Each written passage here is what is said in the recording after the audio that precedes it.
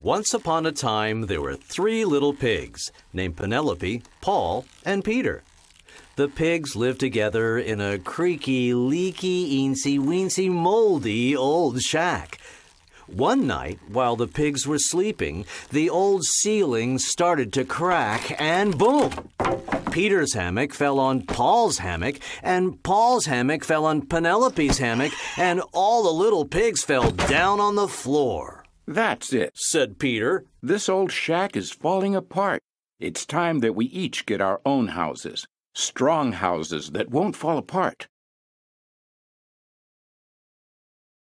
The three little pigs decided they would each build new, stronger houses of their own. The first little pig loved to play games, so she decided to build her house out of playing cards.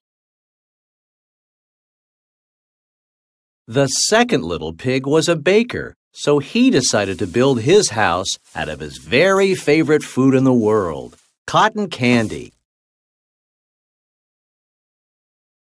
The third little pig was a construction worker. He knew all about building strong houses, and he decided to build his house out of bricks. That night, the big bad wolf came creeping up to Penelope Pig's house and knocked on her door. Little pig, little pig, let me in, said the wolf. Penelope thought surely the wolf had come to gobble her up. Not by the hair on my chinny chin chin, she cried. Then I'll huff, and I'll puff, and I'll blow your house in, said the wolf. The house of cards wasn't strong enough. The big bad wolf huffed and puffed and blew the house down. Whoosh! Penelope ran and ran until she came to her brother's cotton candy house. The wolf wants to gobble me up, said Penelope.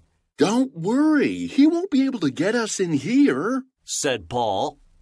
Outside, the big bad wolf came creeping up to Paul Pig's house and knocked on the door. Little pigs, little pigs, let me in, said the wolf. Not by the hair on our chinny chin chins, cried the pigs. Then I'll huff and I'll puff and I'll blow your house in, said the wolf. The house of cotton candy wasn't strong enough. The big bad wolf huffed and puffed and blew the house down. Whoosh! Penelope and Paul ran and ran until they came to their brother's brick house. The wolf is trying to gobble us up, cried Paul. Don't worry, he won't be able to get us in here said Peter. Outside, the big bad wolf came creeping up to Peter Pig's house and knocked on the door. Little pigs, little pigs, let me in, said the wolf. Not, Not by, by the hair on our chinny chin chins, cried the pigs. Then I'll huff, and I'll puff, and I'll blow your house in, said the wolf. But the house of bricks was too strong for the wolf. No matter how hard he tried, he couldn't blow the house down. Mr. Wolf, you're not going to gobble us up today, said Peter proudly. Gobble you up? asked the wolf. I don't want to eat you. I just need a house where I can stay. The wolf explained to the pigs that he loved candles. When it was time for him to build a house of his own, he had made it out of wax. But the house of wax wasn't strong enough, and on a hot day, the wax house melted away.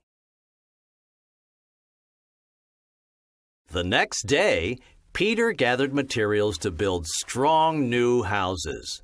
Penelope's new house was going to be rectangular with hearts painted on it like a playing card. Paul's new house was going to be pink and round, just like cotton candy. And the wolf's new house was going to be tall and thin like a candle. Now that they each had their very own very strong houses, the three little pigs and the big not so bad wolf lived happily together in their homey, comfy, cozy new neighborhood.